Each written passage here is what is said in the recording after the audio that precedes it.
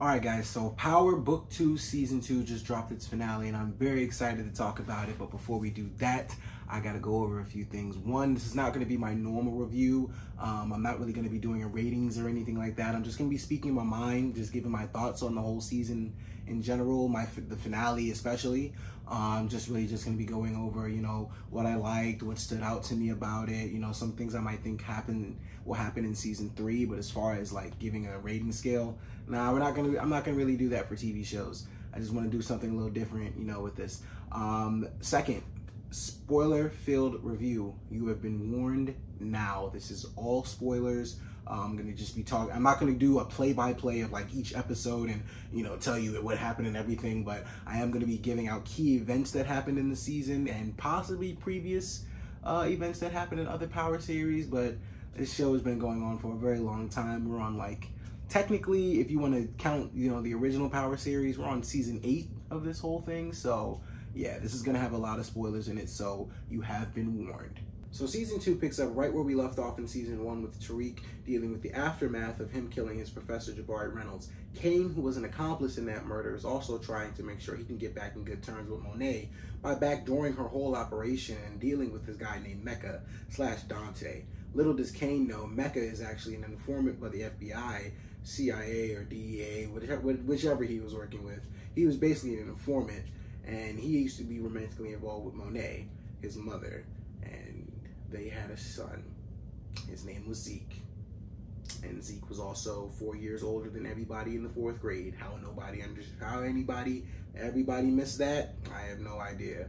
But it happens. It's power though. We just skip over that kind of stuff. We just have fun with it. It's television. We're just gonna have fun.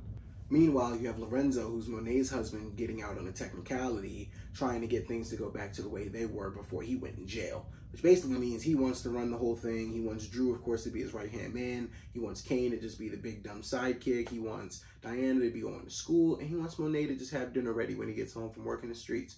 A simple life, as as he would say. I, I don't I don't try, I don't believe in that. That's not that's not that's not at all what I think is a simple life. Women, you guys do what you want to do. You know, if you want to work the corner, you work the corner. With not not you know sexually, you know, with drugs and stuff like that. You know, let's just move on. Let's just move on. It, it's okay. We'll just move on.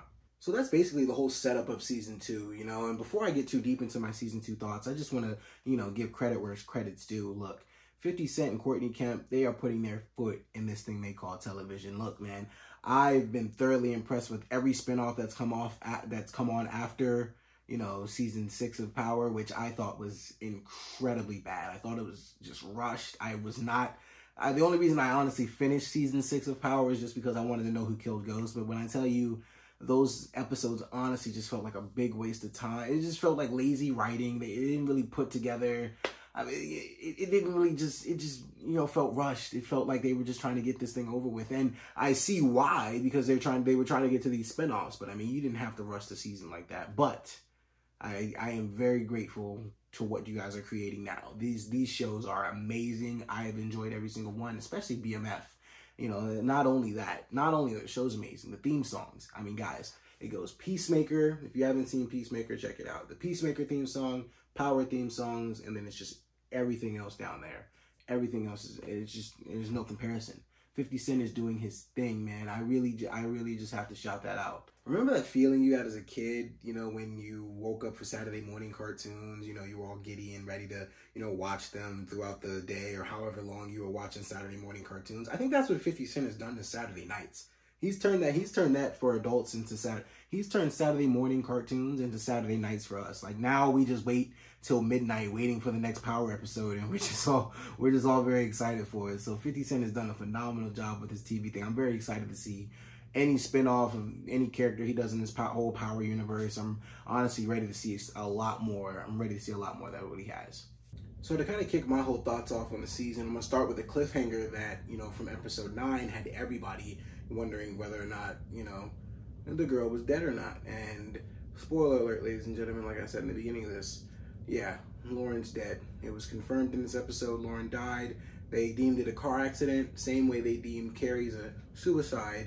And I gotta be honest, with these two deaths, I, I just, Carrie's more so, I just didn't feel satisfied with the way they just handled it. They, I felt like they kind of just glanced over the fact that she's dead and that that it was deemed a suicide and that like I get it, you know, she just got embarrassed in court badly by Davis and it's, it's like I just don't think, you know, as skeptical as people are about like the littlest things in this show, I don't necessarily think the fact that nobody was as, as, skeptical except Zeke and the detective. Those were the only two that necessarily seemed to show any care about Carrie. Um, other than that, nobody else was really skeptical about it. So I kind of felt, you know, weird that they just glanced over that one. And Lauren's, they, you know, that was that wasn't a focal point in this episode. You know, Tariq asked a few questions about it. Saxe came up to him, but it was just like it, that. I felt like it was kind of glanced over too. Now Lauren's death, on the other hand, I do feel like we may see a storyline with that in season three, only due to the fact that we don't necessarily know what Effie's full motives were or why she did it or why she killed her. I mean, granted, maybe it was just because you know she knew that she was a snitch, and you know that's that's all Effie was ever Effie was ever talking about. You know that she was a snitch, and she wanted to make sure that you know she couldn't say anything, and she what just had to be done had to be done. Maybe Brayden ended up telling her what Cane was going to do to him if you know Lauren didn't end up dead. So there's a lot of speculation there. Um, I'm just gonna wait for season three on that one, just because I uh, let me know in the comments what you guys think the motives were. Uh, honestly, I'm very interested to hear. But as far as it go, as far as you know, Effie goes, I I'm really really looking forward to see what happens with that with her with her character and where that takes her and Tariq's relationship. Because Tariq said in this episode, in the finale, you know, she's the only person other than his mother who he can trust, and you know that that's a big statement right there because Tariq, you know how much Tariq loves his mother, and you know he only ever wants to get back to her, or only ever wants her to get out of witness protection. So for him to say something like that to Effie, which I gotta be honest, I didn't, I didn't think, you know, him and Effie have history. You know, they they've been together since. Uh, you know, they've had a relationship with each other since the original Power, but I, I didn't think they were that close for him to be saying something like that. And just the fact that you know she kind of betrayed him on you know, not multiple occasions, but he she betrayed him on some occasions, you know, and she doesn't always and she doesn't always, you know, move as smart as, you know, she thinks she does. Well, actually, no, I'm wrong about that. She's pretty smart. Effie's a pretty smart girl. She knows what she's doing. Uh, I just feel like she kind of just backdoors Tariq a little too much, you know, for him to say something on that scale. But, you know, who knows? You know, maybe that's just how Tariq feels about it. As far as the court case goes, though, with Tariq dealing with Jabari and Officer Ramirez, he gets off clean.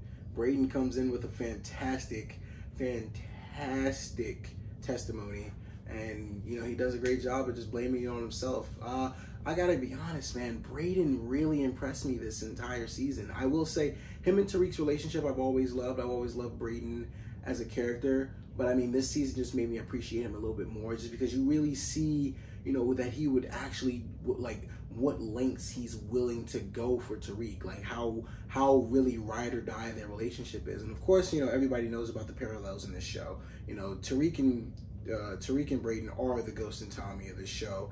Effie, in my opinion, is definitely playing into that Tasha St. Patrick role. Let me know if you guys think something different, but I think she's definitely playing into that Tasha St. Patrick role. But as far as Tariq and Brayden go, I really love how they, you know, went into depth about how really how much Brayden would ride for Tariq. I, I, I would say Tariq it would ride for Brayden the same.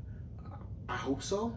Um, I'm I'm hoping they go. They I'm hoping that they put you know Brayden in some sort of situation where he does have to do that because I mean in this in this season Tariq was the one in court the whole time and Brayden had to deal with Cane on the outside. He had to deal with all this other stuff with Effie. So you know Brayden was really doing a lot of running around for Tariq. I, I really want to see if Tariq would do that for Brayden. I do believe he would.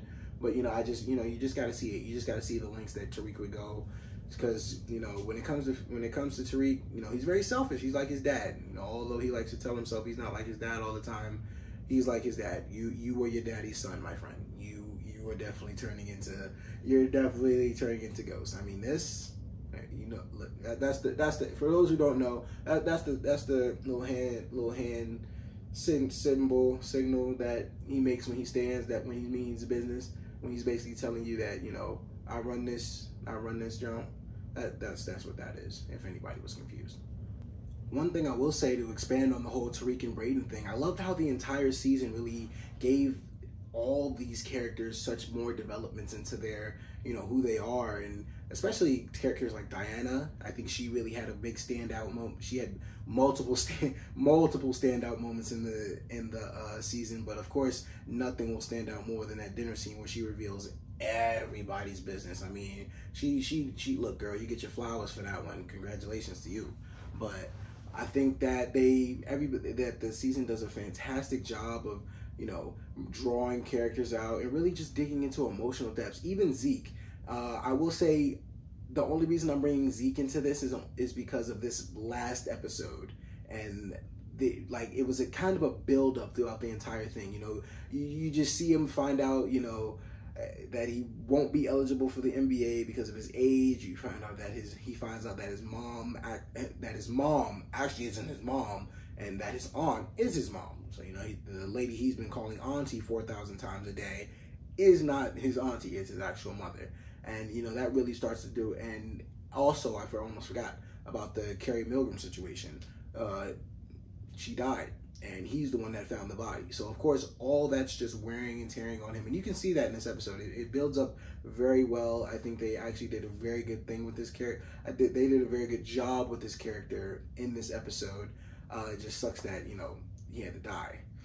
Yeah, Lorenzo capped him. Oh, thought he was Mecca, but Lorenzo capped him. Yeah, that was that was crazy. I was, I don't know how shocked you guys were. I was pretty shocked that that was going to happen. Although, you know, from the moment, Loren, you know, from the moment Lorenzo and uh, Lorenzo and Zeke met, Lorenzo was not the biggest fan of Zeke just because he wasn't his, he wasn't family. So uh, I'm not, I'm not saying that. You know, if I actually may, maybe Zeke, maybe Lorenzo might might have popped him if he. Of course, he thought it was Mecca the whole time. I'm not I'm not trying to allude to say that he thought it was Zeke, but if he may have just saw that it was Zeke, maybe he would have shot him too just to be done with it in total. But you know, who knows, right? Another thing I kind of wanted to touch on uh, for this season was you know Tariq, the main character himself. Man, look, this kid has honestly impressed me a lot. Michael Rainey Jr.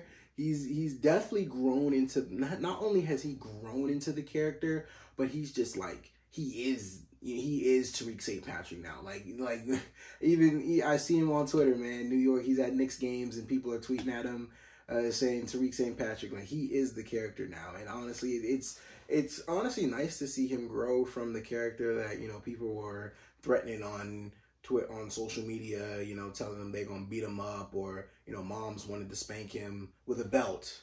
Uh, in case anybody was confused about that, they wanted to spank him with a belt because he because he was a bad child.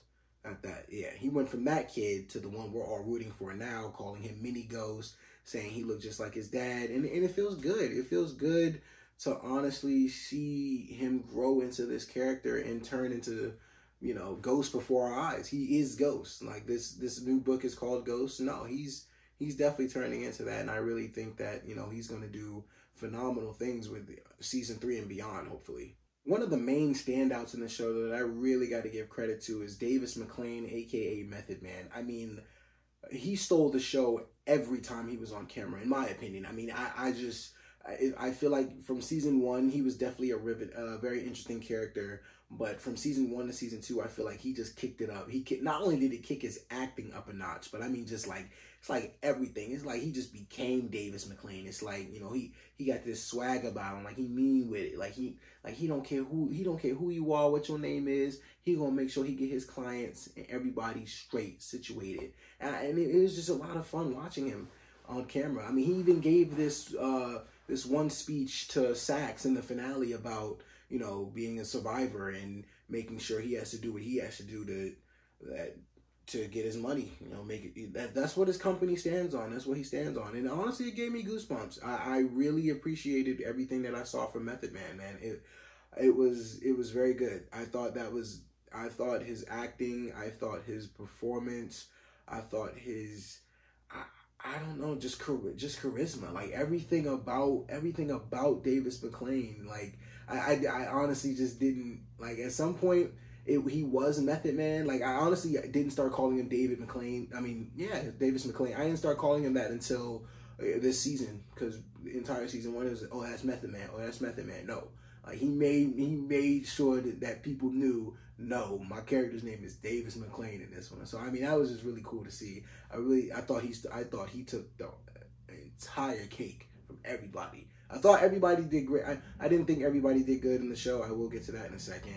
But I did think that you know he stole the show for the entire season. I thought I thought he I thought he made a big portion of this season very enjoyable. The character that actually took like a step back for me from season one was Monet, Mary J. Blige. I and it's honestly just because of the fact that in season one she established herself as you know this very calm, this very I mean I'm, I don't know if calm's the right word, but she she was a lot more collected than she was in this season. And I understand that you know Lorenzo got out, she was dealing with her past, and a lot of her skeletons were coming out of the closet, and stuff was starting to unravel. But I just felt like she made so many more destructive decisions that the Monet in season one would not have done. And like I said, it may be just, due to the fact that Lorenzo and Mecca came out, but I just feel like you know she really wouldn't do like the Carrie Milgram, like the the Carrie suicide. I, I just felt like th- that was too reckless of a move. I thought that was something that her son would do, Cane. Like uh, she just lectures Cane so much about all these dumb decisions she made. I just felt like that was a very reckless move of her to do. I just felt like she was moving off emotion. She tells Cane he moves off emotion all the time. That was one of the most emotional things you could have done, and granted, she kind of made up for it. She didn't really make up for it, but she tries to make up for it in you know the finale by killing Mecca and you know trying to get her family, save her family all back together. But you know now Zeke's dead, so I can only see her just making worse decisions from here. Now, I'm not saying the character, you know, Mary J can't get better, but as far like I said, the character just made a lot of destructive decisions for me that kind of took dialed stuff back from you know what she what she did in season one and on top of that, I, I just honestly felt like every time she talked, every time you know her character spoke, it was always in one tone. Like no matter no matter what emotion she was trying to portray, whether it was happy, angry, she was literally just talking to somebody. It was always one tone she was speaking in. Like, it just never changed. I just didn't think there was much range there from her. I mean, Grant, Uh, like I said, it could probably get better. I just didn't really enjoy that part of the season. I mean, not part of the season. I just didn't really enjoy that part of her character. I thought that she was really just, you know, one. She was just one a monotone character the entire time. You know, really didn't show any, you know, emotion other than just that one voice. Like it was just one. Like all that's all I could ever hear. Like all I could ever hear is her just saying things in one voice. Like that's it, and just never saying anything again. It's just she's gonna deliver it however she however she wants to deliver it. It's just in that same voice, and it kind of got old for me after a while. Like it, like it. I promise you, in at least four straight episodes, maybe I stopped paying attention at some point, but in four straight episodes, maybe probably episode one through four. It was just she was saying everything in one tone. Like even when she had Diana choked up against you know the wall, she was trying to base at Diana even you know what's crazy? Even the dinner scene when she's yelling at Diana, eh, like it's all in one tone. It it, it never changes. She only she's only delivering things in one voice. I, I hope that honestly you know improves in season two. Like I said, in season three. I'm sorry. Like I said, if you know Method Man can step up and acting like that, Mary J, I know you can do it too. I believe in you. Now there were two storylines that I really wasn't fond of in the in the season, and that had to do with Yaz and Councilman Tate. Yaz's storyline did have a very big payoff in the finale, um, but I, the, the only reason I can't say I was too fond of the storyline is just because uh, I didn't know that was coming until the finale and episodes one through nine. I, wasn't really interested in what was going on. Like I get it, um, in order for Tariq to have those family values, be a family man. Uh, he he doesn't want to be like his dad. He wants to make sure he take care of his sister, and his grandmother was a whole crackhead. And I get that. Um, that that was a part of, but for me, that was more a part of Tariq's growth as a character than Yaz's. I felt like this ending where in the finale she got to go with her mom and witness protection, and Tariq, you know, made sure they were actually both safe. I felt like that was more so for her and for just Tariq. I felt like that was for both of their characters, and that and that and that actually went somewhere. That was actually very heartwarming to see. I just wasn't really interested in what was going on with her in the first nine episodes. The most interesting thing, in my opinion, was that Burberry collar shirt she had on when she was trying out for the stand to actually go on to, to go on trial, but she never did. The that shirt was fire. But um, the other, yeah, Councilman Tate's storyline, I really wasn't a fan of. I'm not really a big Larenz Tate guy in the first place. Uh, O Dog is a very legendary character, menace to society, but as far as that goes, nah, I'm not really a big Larenz Tate guy. Um, I feel like his character could have been honestly played by anybody. I just felt like just because he was in the show before, you know, we just brought him back for this, you know, for the same. I mean, if you've seen the show, you know what he does. Like he's just trying to get his seat back as councilman. He's trying to get back into office. He's trying to run again. And I, like I said, I felt like that could have just been played by anybody, but because he was already in the show before, they just brought him back for it.